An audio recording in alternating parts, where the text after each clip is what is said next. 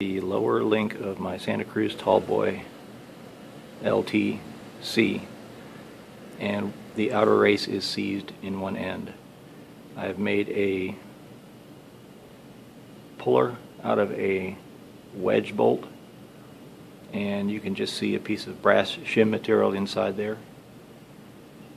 Uh, each of the three fingers I ground down about an eighth of an inch and the three little tabs that are gripping the inner race now I took a very square file and made them a little sharper and I am making some progress pulling this race out.